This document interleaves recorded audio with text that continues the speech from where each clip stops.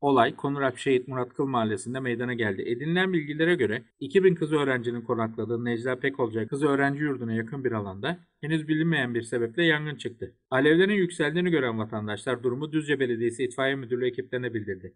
Rüzgarın etkisiyle bir anda büyüyen yangın gökyüzünü siyah bürüdü. Olay yerine ulaşan itfaiye ekipleri alevlere anında müdahalede bulundu. Alevleri kısa süre içerisinde engelleyen ekipler çalılık alanlara ulaşmaya başlayan alevleri de söndürerek yangını kontrol altına aldı. İtfaiye ekipleri kuraklık sebebiyle ateş yakılırken dikkat edilmesi gerektiğini dile getirerek vatandaşlara da uyarılarda bulundu.